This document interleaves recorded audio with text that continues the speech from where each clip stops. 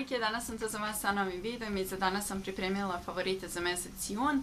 E, što se tiče ovomesečnih favorita, e, ima svašta nešto, nešto je novo, nešto sam imala od prije pa sam se tek sad zaljubila u te proizvode. E, mnogo više ima šminke, tako da ću prvo da vam pokažem one proizvode koji nisu vezani za šminku da bi ovaj video ima neki tok. Pa počet ću odmah da sad ne bi mnogo dužila s ovim uvodom. E, prvi proizvod je Victoria's Secret Body Mist Amber Romance se zove. Njega sam pominjala u haul videu da sam ga dobila za rođendan i od tad ga koristim, znači ceo mjesec bukvalno, svaki dan i uveče ga koristim i preko dana i kao što vidite jako malo sam ga potrošila. Ultra sporo se troši i mislim da je super zašto ima 250 ml. Miris nije toliko postojan, jer prosto nije parfem, ali je meni ovaj miris odličan zato što može da se nosi kao što sam rekla preko dana i uveče i za leto mi je mnogo bolji body mist nego parfem. I super je, kažem, funkcionalan i miris, tako da možete lepo da ga ovaj, nosite stalno i mislim da je odlično pakovanje za putovanje zato što nije stakleno, tako da sam zaljubljena u ovaj Victoria's Secret Body Mist i obožavam ga. Sljedeći proizvod je nešto što imam godinama bukvalno. U pitanju je Planet Spa kao gel koji zaglađuje lice sa mineralima mrtvog mora izgleda ovako. Ja ovaj proizvod imam bukvalno godinama, ne sjećam se ni odakle mi, da li je bio neki set pa je on bio u njemu, nemam pojma više. Ja sam to jedan period još prije koristila leti kao noćnu negu, odnosno uveče sam ga stavljala zato što ima gelastu formu i onako dosta lagan, lepo hidrira i onda mi je za to bio ok. I skoro sam ga onako ostavila i rekao hoću da ga e, potrošim, ajde da ga koristim kao primer. I jedan dan sam ga uzela i stavila sam ga kao primer na cijelo lice i preko stavila puder, onaj L'Oreal Infallible Matte. Ja sam se oduševila, ovo je najdivniji primer, šteta što mi je ostalo toliko malo što sam protraćila ovaj proizvod uzaludno lepo hidrira, toliko lepo zagladi kožu i onda puder odlično sede na njega, fantastičan i nekako i drži puder na mjestu, sve radi, bukvalno najsavršeniji primer, a opet nije onako silikonski ili nešto tako, prosto nema nikakve takve sastojke ovaj, u sebi jer je ipak napravljen da neguje lice. Odličan je, znači šteta što mi je ostalo malo, ali uživat ću još u njemu i vidjet ću ako ovo još ima u Ivanu, pa da ga ponovo uzmem, fantastičan je, tako da probajte ovu stvačicu kao primer ovo sve ostalo je manje više šminka ili nešto vezano za šminku i to, tako da ajde idemo ovako redom kako mi šta padne pod ruku. Još jedan proizvod iz Evana, u pitanju je ova Big and Multiply maskara. Multiplied, da, Multiplied. ovu maskaru, onu Big and Daring, mislim da se zove ono u crnom pakovanju. Nju sam koristila i sve ono što nisam mnogo bila zadovoljna zato što se jako teško skida. Znači, nije vodootporna, ali se užasno teško skida. Ovo sam uzela čisto eto ajde kao da isprobam i sad koristila sam skroz neke druge maskare u posljednje vrijeme i ova mi je stajala tako u posutici gdje su mi sve maskare, jedan dan sam ju uzela i oduševila se. Ona ima ovako ogromnu četkicu, znači četkica je stvarno, stvarno baš velika. Ima ove kao prirodne češljiće koji su meni mnogo bolji. Izuzetno je crna i što je najbolje u jednom, dva sloja možete jako lepo da je nanesete. Ja imam trenutno ovaj na trepavicama, jako lepo ih izvuče, telo je jako dugačko, gusto, sve uradi odlične. Ima 10 ml, tako da ovaj dugo će i potrajati. Sad jedino ako niste fan ovih velikih četkica, ja kako kad ove ogromne četkice nekad su mi super, nekad baš znaju da naprave problem. Sljedeći proizvod je ovaj Essence of Corrector, u pitanju je Camouflage Full Coverage Concealer, izgleda ovako, moj je u nijansi 10 Nude.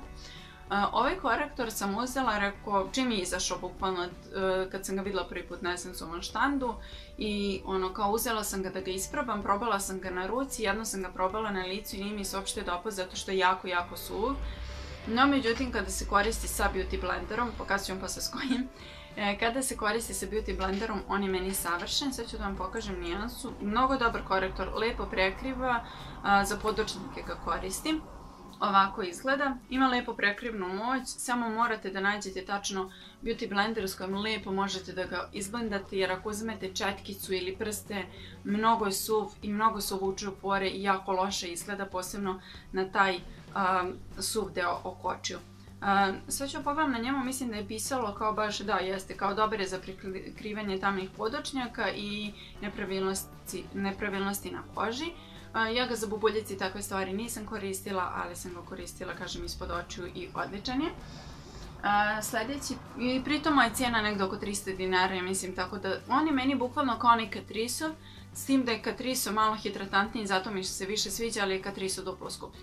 Tako da slobodno uzmite i ovaj esenco, baš je dobar. Ima nešto 5 ml, otprilike mislim da svi nešto manje više tako i ima. Sljedeći proizvod je Lumsov Duo. Ovo sam se oduševila stvarno kad sam vidjela i kad sam isprobala. U pitanju je highlighter i rumenila. Nijansa je 102 Perfect Match Blush and Highlight. Izgleda ovako. Ovo je kao pečeno rumenilo i ovaj pečeni highlighter. Jedan i druga strana ovog proizvoda mi se izuzetno dopadaju. Highlighter je nestvarno divan, znači ovi proizvodi su izuzetno pigmentovani, sad nadam se ovaj, da možete da vidite, znači jako, jako su pigmentovani. Rumenilo mi se sviđa zato što je nekako rozikasto, suptilno dosta i onako nije napadno, ali highlighter je predivan. Nešto između onako bežikasto, sivkasto, rozikaste, ne znam, ima malo zlatkaste, ali nije na bronzu. Ide mnogo lep highlighter i mislim da je odličan za sve devojke koje su svetle puti. Mislim da je ovaj proizvod ogroman, koliko ovdje ima, 7 grama, mislim da će jako dugo trajiti. Fantastičan je stvarno, tako da ovaj, još jedan ovaj Lumso proizvod koji me baš, baš oduševio. Koliko su one njihove olovke za usta prvi put razvočarale, toliko su im svi ovi pečeni proizvodi baš dobri. Sljedeći proizvod je Aurin lepak za trepavice. Ovaj lepak sam milijone, mislim, puta pominjala kod mene na kanalu. Ja koristim ovaj vodotporni koji je providan. Nekako ne volim crni lepak za trepavice, ne znam zbog čega, ne dopada mi se. I s tim da ovaj mi je multifunkcionalno, mogu da ga koristim kada lepim šljokice na kapak. Ovo je meni definitivno najbolji lepak za trepavice zato što meni ne suze oči od njega, to je meni najvažnije, lepo drži sve na mestu i jako malo količina vam je potrebna, tako da mislim da je jako, jako dobar. Kad mi je bio rođendan i sve to je obično kad izlazim ili su rođendan ili tako neke prilike, tada jedino stavljam veštačke trepavice, ne nosim ovako na dnevnoj bazi i ovaj lepak mi je baš super služio u te svrhe. Zatim imam Beauty Blender koji naliči na Beauty Blender koji treba da se pokaže zato što je jako prljav.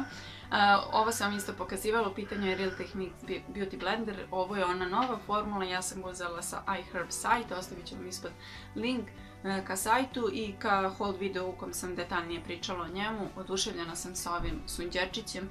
Najbolji sunđer za blendanje, dakle, toliko lepo izblenda puder, korektor, fantastičan je, ne upija toliko proizvod, jedino malo se teže pere ali naći ću, ovaj, naći ću neko rješenje kako da ga dovedem u red, da izgleda pristojno.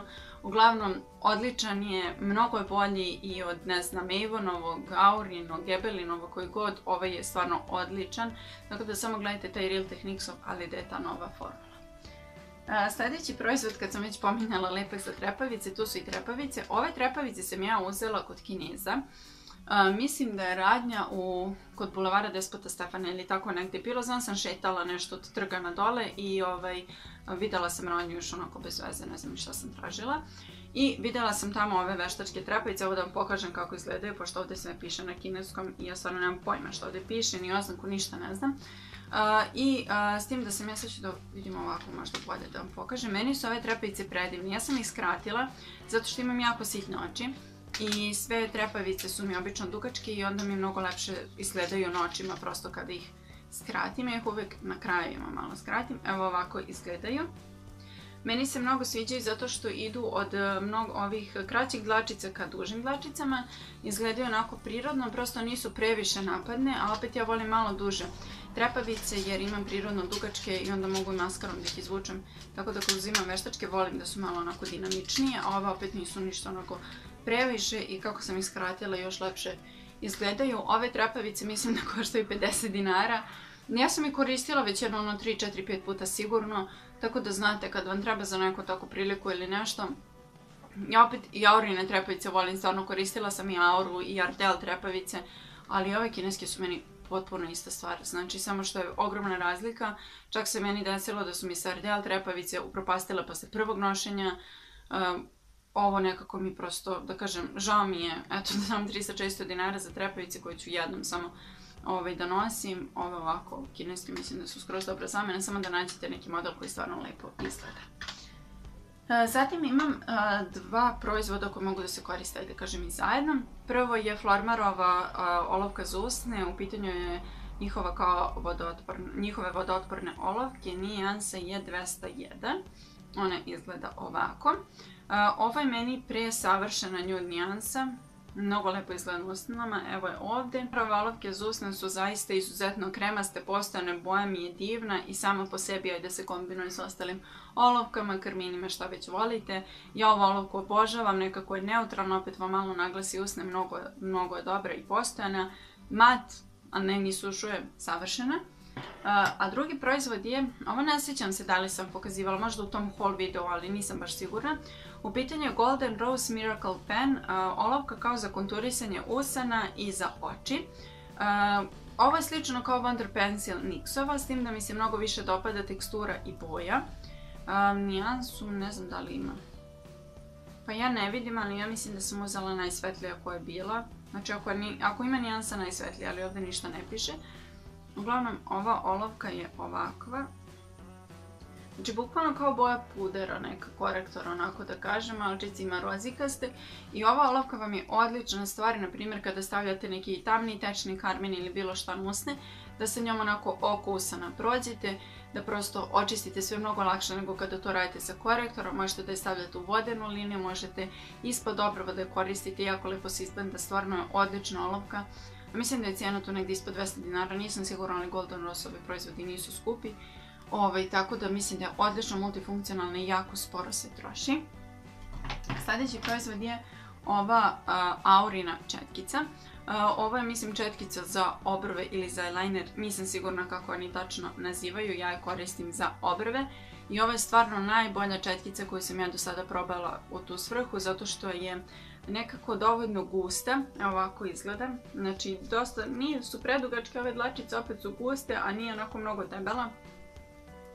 Tako da dosta vam daje onako preciznosti i kontrole nad proizvodom. Ja je koristim sa praškastim proizvodima, odnosno sa senkama za obrve i stvarno je fantastična, mnogo mi se dopada i ove aurine četkice što ih više kupujem, shvatam da su jako, jako kvalitetne, a opet nisu nešto preskupe, baš su pristupačne, tako da ova četkica je meni savršena. I za kraj imam uh, ovu olovku za obrve. U pitanju je Sephorina vodootporna olovka za obrve u nijansi 05 Natural Grey Brown. Uh, ona je uh, kao na ovako odvrtanje. Evo ovako izgleda. Meni ovo najsavršenija nijansa za obrve, trenutno imam tačno ono što meni treba. Da je brown, ali ne previše tamna, da ne ide na crnu, da ima dosta te sive u sebi, da nema ni malo naranđaste jer mi to nikako ne odgovara. Evo ovdje nadam se da vidite. Ona je tačno onako dovoljno kremasta, opet suva da lepo stoji, nekako vam ne umaže onako obrve, ne stavi se puno. Naprimjer, sad vidim razliku između onih esencovih olova kad za obrve koji su stvarno ok, ali one nekako previše proizvoda ostave na vašim obrvama. Ovdje stvarno možete dozirati, bukvalno ako da iscrtavate dlačice. sa druge strane ima jako čudan ovaj spuli, ajde da kažemo ovu četkicu za obrve, stvarno nikad nisam vidjela ovakvu četkicu. Ok, ona odradi tu nešto, mislim onako malo da namestite dlačice i to, ali ja volim s onom klasičnom četkicom za obrvu uvek na kraju da prođem. Baš sam zadovoljna sa njom, znači mnogo lepa nijansa, toliko prirodno izgleda, znači bukvalno ono, ako nećete da stavljate previše šminke na oči, na usne, a hoćete da istaknete obrve, ovo je super jer djelo je jako, jako prirodno. I to bi bilo to što se tiče ovog videa. Prošli smo kroz sve proizvode koji su mi bili omiljeni u toku proteklog mjeseca. Nadam se da ste uživali u ovom videu. Ako jeste, obavezno ga lajkujte, a mi se vidimo u sljedećem. Ćao!